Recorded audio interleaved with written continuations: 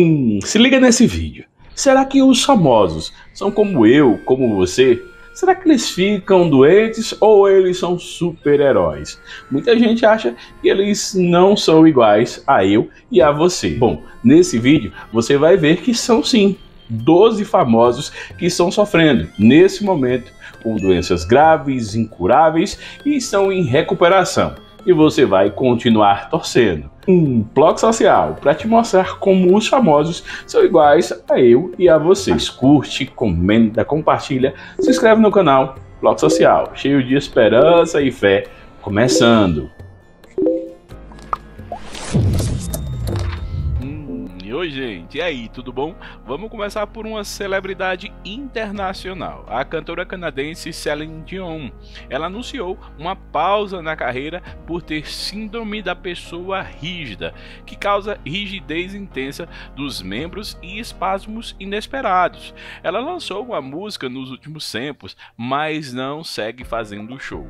Muita gente mencionou que a cantora havia emagrecido muito, mas ela revelou que pouco tem a ver com essa doença. Na verdade, em sua família, as pessoas envelhecem e vão perdendo peso. Pode ou não pode? Já o cantor sertanejo Zé Neto se envolve em polêmicas de vez em quando.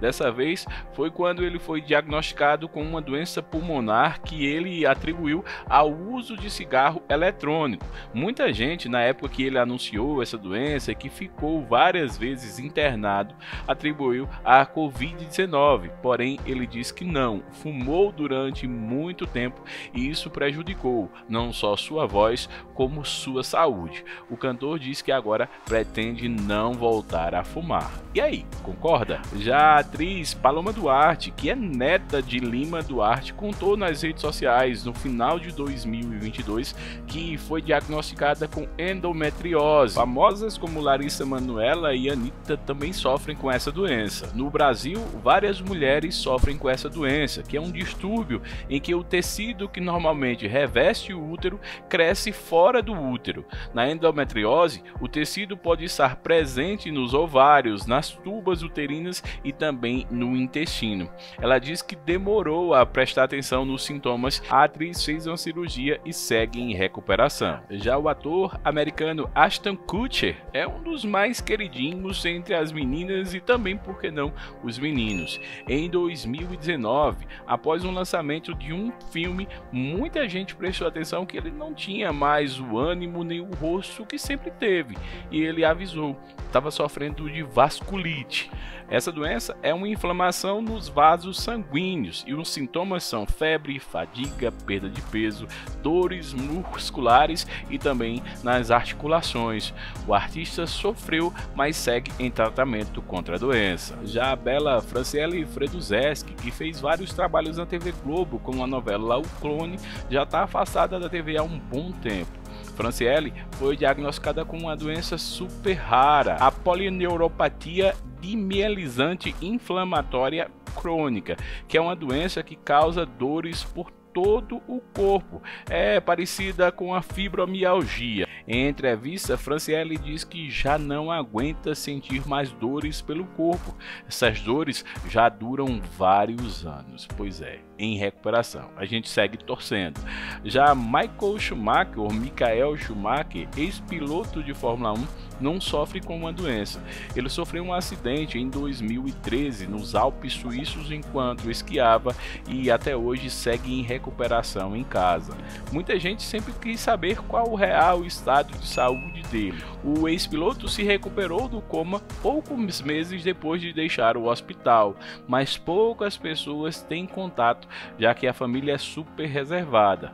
Dizem que ele segue em recuperação, mas não fala. Já Yuji Tamashiro é apresentador da Rede TV e ex-apresentador do Bom Dia e Companhia do SBT, sofre com a síndrome de Burnout, que na verdade é uma doença que afeta muita gente pelo mundo.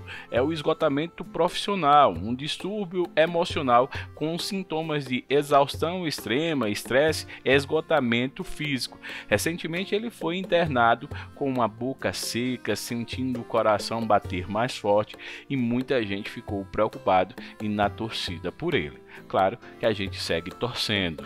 Em 2021, a atriz Dani Moreno, que trabalhou na Globo e também na Record, passou por um momento pessoal bem difícil. Ela recebeu o diagnóstico de espondilite anquilosante, uma doença autoimune degenerativa que afeta os tecidos conjuntivos e se caracteriza pela inflamação das articulações do corpo.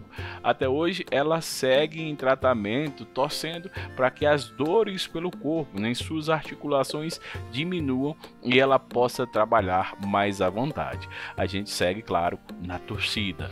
Em 2022, o astro de Hollywood, Bruce Willis, recebeu o diagnóstico de afasia, uma disfunção que impede a comunicação adequada. Na verdade, a dele partiu da demência. Muita gente que é diagnosticada com afasia sofre antes com AVC, acidente vascular cerebral ou com tumores ou traumatismo craniano.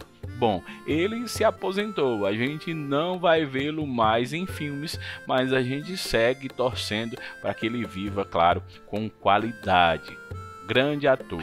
A atriz Selma Blair, que fez vários filmes em Hollywood, teve um diagnóstico bem difícil. Os médicos, no início, quando descobriram que ela tinha esclerose múltipla, revelaram que ela tinha pouco tempo de vida. Ela diz que algumas vezes pensou em desistir, mas não desistiu. Já fazem dois anos que ela segue em tratamento. Essa doença afeta as articulações, as falas, os movimentos mas ela não vai desistir e sonha em voltar a fazer filmes de muito sucesso.